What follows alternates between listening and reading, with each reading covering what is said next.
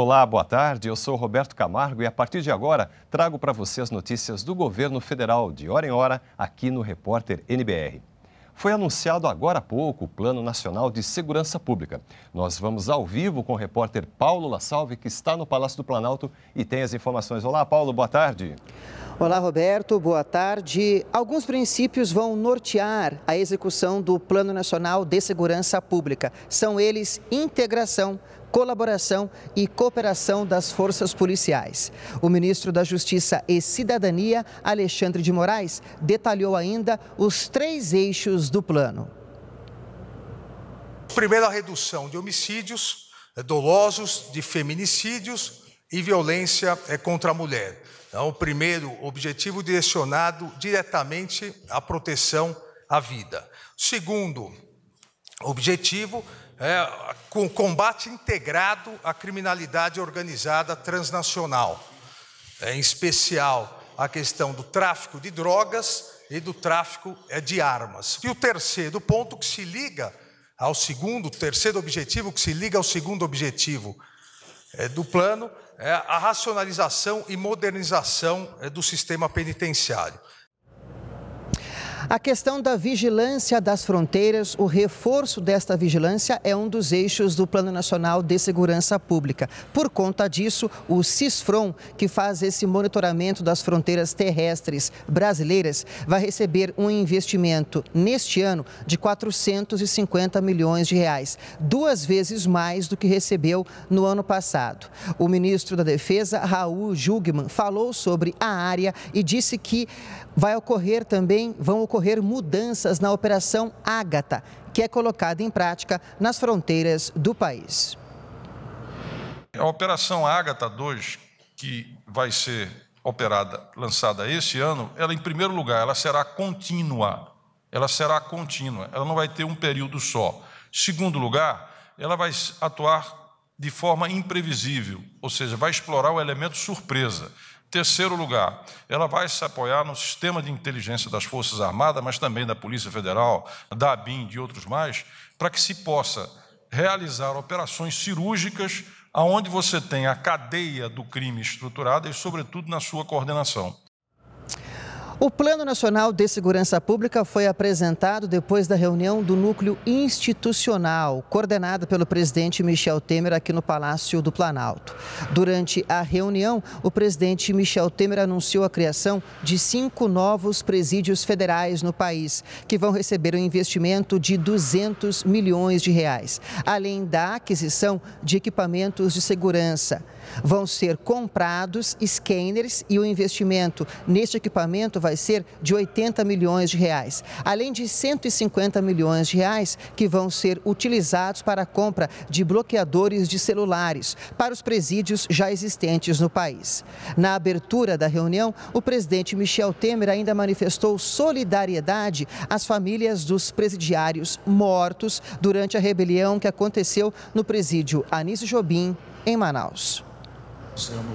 Participaram da reunião com o presidente, ministros e parlamentares. Na abertura do encontro, que discutiu um Plano Nacional de Segurança Pública, Michel Temer falou sobre a rebelião em unidades prisionais do Amazonas. Ele prestou solidariedade às famílias dos presos mortos durante a rebelião. Quero mais uma vez expressar a nossa solidariedade com aqueles familiares né, que perderam os seus entes né, nessas, nesse terrível episódio eh, de Manaus. O presidente Michel Temer disse ainda que, apesar da Constituição Federal estabelecer que a segurança pública é responsabilidade dos estados, os fatos mostram a necessidade de um trabalho integrado entre os governos estaduais e a União. A União há de ingressar fortemente nessa matéria, porque, volto a dizer, embora repetitivamente, que hoje a questão da segurança pública, embora cabível aos estados, na verdade, ultrapassou os limites do Estado e gera uma preocupação nacional. Portanto, nós teremos aqui recursos hipotecados a essa matéria, sem, naturalmente, invadir a competência do Estado. É claro que o policiamento ostensivo, o cuidado com a questão é, penitenciária é competência dos Estados. Não vamos invadi-las, mas vamos estar presentes com auxílio federal em todas essas questões. O governo federal tem dado atenção ao sistema penitenciário.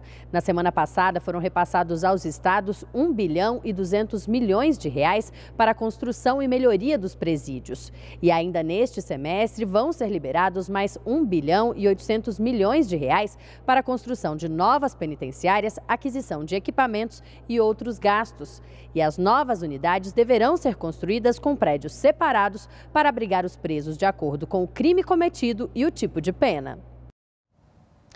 Mais de 300 agências brasileiras foram credenciadas pelo Ministério do Turismo para receber turistas chineses neste ano de 2017. E nós vamos ao vivo agora a São Paulo, onde o repórter José Luiz Filho traz os detalhes para a gente. Olá, José Luiz, boa tarde.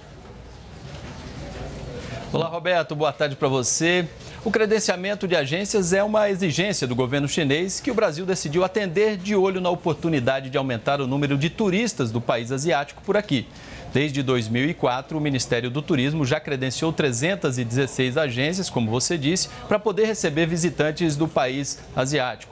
Essas informações serão encaminhadas à Embaixada da China. Em 2015, 53 mil chineses visitaram o Brasil e a expectativa é que esse número cresça significativamente com o aumento do número de agências preparadas para receber esses visitantes. A China é o país número um em gastos, com cerca de 290 bilhões de dólares gastos no ano de 2015 com as viagens.